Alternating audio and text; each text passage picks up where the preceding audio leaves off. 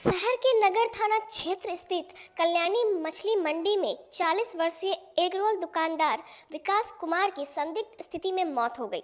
वह छत से गिर गया था। आनंद फानन में उसे सदर अस्पताल में भर्ती कराया गया, जहाँ चिकित्सकों ने उसे मृत घोषित कर दिया। घटना के बाद परिजनों में कोहराम मच गया। वहीं मृतक की 11 वर्षीय बेटी ने अपने सौतेले भाई पर पिता की हत्या करने का आरोप लगाया है। इधर घटना की जानकारी मिलते ही नगर पुलिस मामले की छानबीन शुरू कर दी है। मृतक के परिजनों से पूछताछ कर रही है।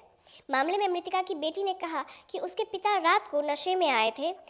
वे और माँ छत पर झगड़ रहे थे। इसी बीच सौतेले भाई ने उन्हें धक्का देकर छत से गिरा दिया। बताया कि इससे पहले पिता को देखकर उसने चाकू ले रखा था, लेकिन देर रात करीब साढ़े बारह बजे पिता को धक्का देकर नीचे गिरा दिया। उनके मुँह व नाक से खून निकलने लगा। अस्पताल ले गए लेकिन उनकी मौत हो गई। पापा को भैया रात में पापा थोड़ा सा पी के आए थे ना तो उसी पे बातें चीती होते हुए ना भैया चाकू लेके निकला घर से और मतलब कि बोला मार देंगे और फिर निकल के सब आया तो नहीं मारा रस्सी काटने लगा कपड़ा वाला। उसके बाद पापा मम्मी से गाली गलौज कर थे तो उसको सीधे धकेल दिया नीचे। भैया। क्या नाम है भैया का? हिमांशु। कितना उम्र होगा? उन्नीस साल होगा। पापा क्या करते थे? पापा मेरे कल आज से दुकान स्टार्ट करने वाले थे। किस चीज़ का? एक रोल का। इससे पहले क्या करते थे? इससे पहले भी एक रोल का ही करते थे। बनवाए जो है ना उसी पे गिरे थे। बनवाए हैं उसी उसी को करने के लिए आज से लगने मिस्टर विकास सा। धक्का देने के बाद फिर आगे क्या हुआ?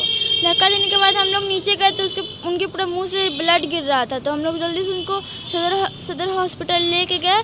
उसके बाद उनका थोड़ा सा सांस चला। उसके बाद उनका उल्टा सांस चलने लगा। अकेले बच्ची रखी हुई थी बाप अकेले बच्ची रखी बच्चे अकेले रखे। अकेले गिरा ना उसके तो उसके।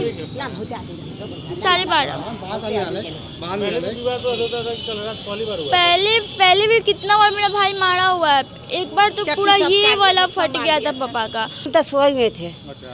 आ एगो आदमी गिया पीटने के लिए के बाप विकेश के धकेल दल के धकेल। हम कहली बाप रे रात धकेल दल के बाप बेटा के। धकेल दिल निकले मतलब बेटा निकले बस क्या बच्चा के धर के ले गए हॉस्पिटल। हॉस्पिटल में ले गए बच्चा स्वाद तोड़ दिया हॉस्पिटल में आते थे स्वाद चल रहा था। विवाद करता सौतेला बेटा था? हाँ सौतेला बेटा था। अपन बेटा था ना बड़ी माँ मारता था सब भोग भाग देता हरदम हरदम काट देता था सब। ये सब दाग वहाँ चलिए ना ले ले लीजिएगा। दाग ले लिया था सब सब दाग।